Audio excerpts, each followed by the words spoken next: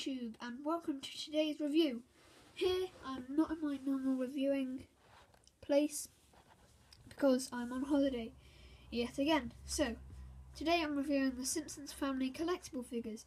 In this set we have Homer, there, Marge and Maggie, Bart and Lisa. Sorry if you can hear background noise because yet again I'm just doing this here, here, there, there, there, there. Anyway, you, in the shop you could buy these for three ninety nine each, or all in one big pack for ten pound. On there you can see the Simpsons logo, Simpsons Family collectible figures, and a picture of ca- cartoon Homer. Well, he's always cartoon. Anyway, on the back it says Homer, Marge. It should say Maggie as well because Maggie's technically in that set as well. Now, taking a look at the back of the packaging, you can see Homer Mm-hmm. and yet again the Simpsons logo there. The Simpsons family collectible figures and 100% official.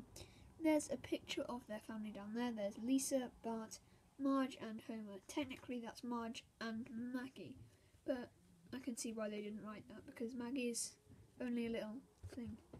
First off, this is Lisa from out of the packaging, and the only problem with this figure is the eyes have got a lot of paint mess up, but this is the best figure of Lisa I could find.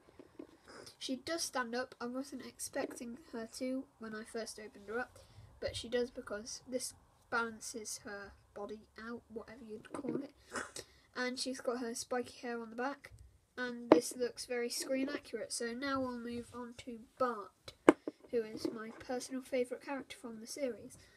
Here he is, he's got his hands in his pockets, and there is no articulation on these figures, but they do look very, very nice. So you can see his eyes there. There is a little bit of paint running down there, and he's got his spiky hair. Now we'll move on to Homer, who is the last one that stands up. Marge doesn't stand up, she always falls down. Homer looks like his his facial feature is basically how he normally is in the show. His hair looks good, his hair around the back looks good, and his beard thing. What would you call it? Comment down below what you call it. Anyway, that that looks all good. The paint's mainly good on there. He's giving us a thumbs up thing, sort of. Yeah, thumbs up probably. And yes, he's very fat, so they decided to put the legal guff on the back of him. Now we move on to the final figure who doesn't stand up on their own, says me, and then she stands up on her own. But it's Marge and Maggie, and Maggie is coming out of a shopping bag. I do like Marge, but to be honest, I think Maggie looks a bit strange.